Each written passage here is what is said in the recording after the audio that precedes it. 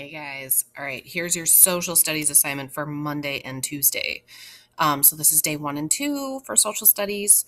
Um, we're starting chapter 10. So this is the comprehension guide. It's typed into a Google Doc. So you'll be typing on this actual document that you have in Google Classroom.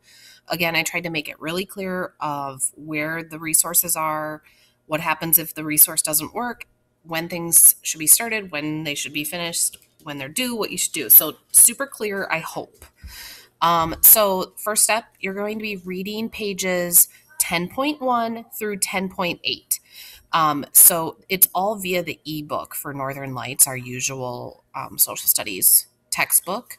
Um, we do have ebook access now at the link highlighted here for you guys.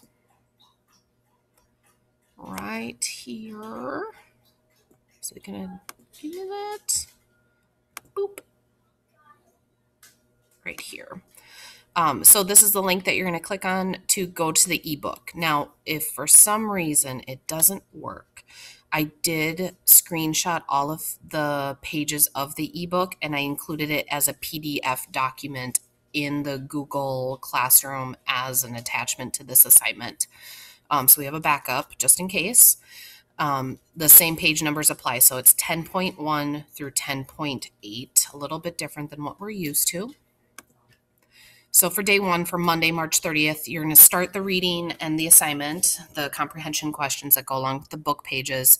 And you need to be done by Tuesday um, by 11.59 p.m. So right before midnight on Tuesday, you need to turn these in.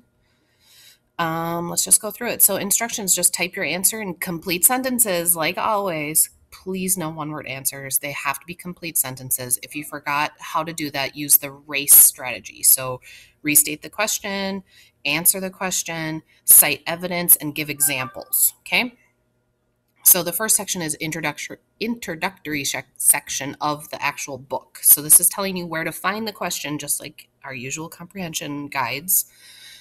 Um, so, why were new settlers choosing to move to Minnesota in the years following the Civil War and U.S. Dakota War of 1862? The next section is called Starting Small in Lincoln County and Changes on the Farm. These are the two questions. You're just describing these two types of farming for me. And again, you're just typing your answers right here. Okay. Um, and then the next section has two questions as well, and it's the sidebar. I believe it's blue. Um, it's called Land How to Get It. You're naming four ways a farmer could get a homestead, and you're typing this bullet right here. I've got a little period mark to hold the spot for us. And then, how did land speculators such as Lewis Fertile make money? Super easy. Just type it again right there. Um, so, your job answer these questions by Tuesday, but right before midnight, turn it in. Um, again, you're going to click up in this general vicinity, it's going to say turn in on your screen, not share like it does on mine. And that's it. Um, again, if you have any problems, feel free to email me. My email is bburton at kcsmn.org. Um, yeah, so I will talk to you later, guys. See ya.